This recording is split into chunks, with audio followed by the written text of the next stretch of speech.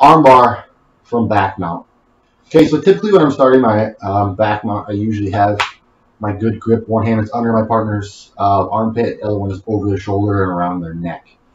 Um, I have my hands together. I'm usually pulling nice and tight. My hooks, I don't want them outside my partner's legs, or I want them inside. I'm kind of using these foot, these feet to hook.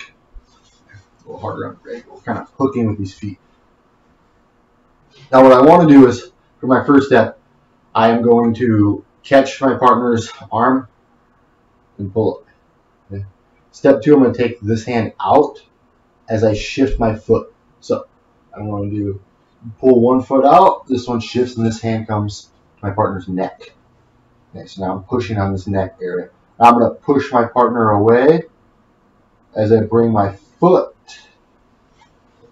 around the head. I lay back, pinch my knees, thumb always points away from my chest. Nice and tight, two hands on, and we bridge. Here, got our seatbelt and our hooks in. Step one, hand comes to the back of our head. Step two, we catch as we're switching our feet. Step three, foot that's on that is on the floor is now going to come around that head into the neck. So we're going to push our partner away as I bring my foot around that head. Pinch my knees, start to lay back and catch that thumb.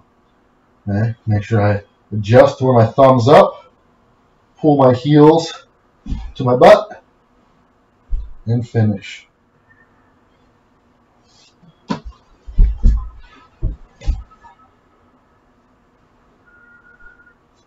Armbar from back mount.